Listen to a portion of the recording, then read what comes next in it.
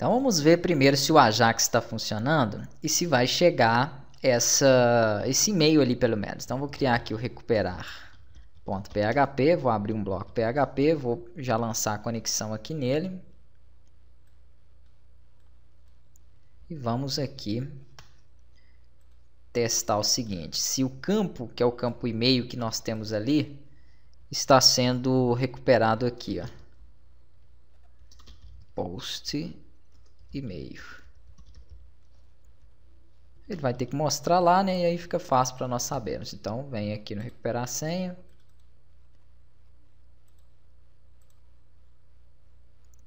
Deu não. Deixa eu já inspecionar elemento. Console. Tá, Ajax não é uma função. Então tá faltando os scripts que reconhecem o Ajax. Vamos ter que inserir ele aqui. Eu vou colocar os scripts da seguinte forma.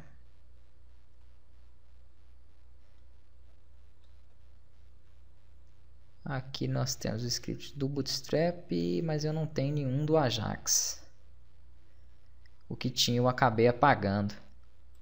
Para funcionar, eu tenho que ter esse script aqui, tá? Ou então tem que ter o Ajax no projeto, como é lá no, no, no painel. Então, mais um aqui, ó, script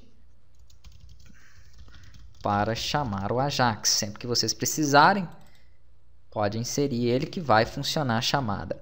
É, aqui ainda ele apontou um errinho, mas aí foi vacilo meu, porque na hora que eu fiz a chamada do recuperar, eu escrevi errado, tá vendo?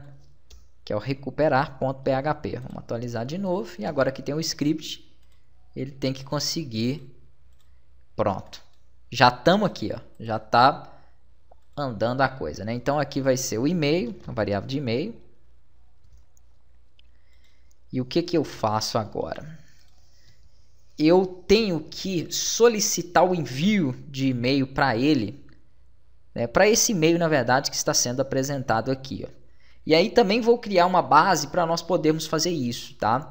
Quem vai ser o remetente sempre vai ser o e-mail que você tiver deixado no config, que é o e-mail ADM, e no mais nós faremos sempre esse mesmo envio aqui. Eu tenho aqui no da loja, vou pegar um outro projeto que eu tenho para deixar como base aqui também, o recuperar.php. Ah, primeiro ele tem que verificar, lembrei que eu tenho que fazer isso, ele tem que verificar se o e-mail existe ou não e verificar se está preenchido também. Então tem algumas verificações aqui, ó. vou até utilizar lá, mas é basicamente o que nós já fizemos aí né, no decorrer da, da estrutura. Então aqui, ó, primeiramente, verifica se o e-mail Está preenchido, se não for, manda preencher. Depois vem com o result para ele selecionar os usuários conforme esse e-mail que está sendo passado.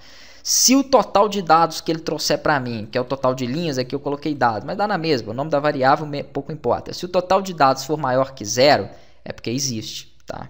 Então aí se existe, ele vai recuperar para mim a informação da senha.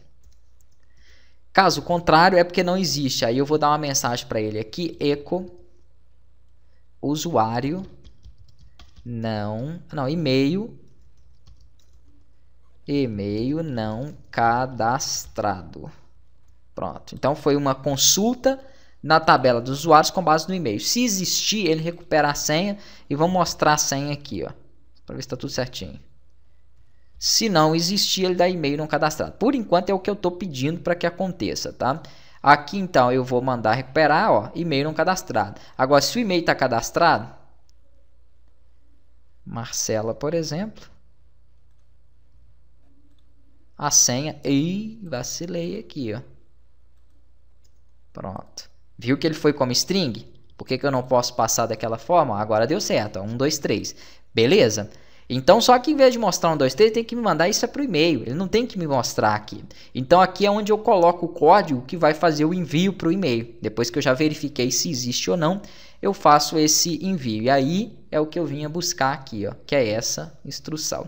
Então, essa instrução eu vou colocar aqui também nos scripts para vocês, porque em vários momentos no decorrer do sistema nós vamos fazer envio de e-mail, tá? Às vezes para o cliente, né, para poder mandar um orçamento, algo do tipo. Então, script para envio de e-mail. utilizando a função mail. Ué, mas se você não vai utilizar a PHP Mailer, mas de jeito nenhum que eu utilizo aquilo mais em projeto meu. Aquilo é terrível para você configurar e dar manutenção, né, dependendo do servidor. Então eu não indico e não aconselho utilizar de forma alguma. Aqui então enviar o e-mail com a senha, ó. Nós vamos, eu poderia até tirar isso, né? Ah, não, eu tirei ou não? Isso aqui não é para estar tá não, isso é só a base mesmo.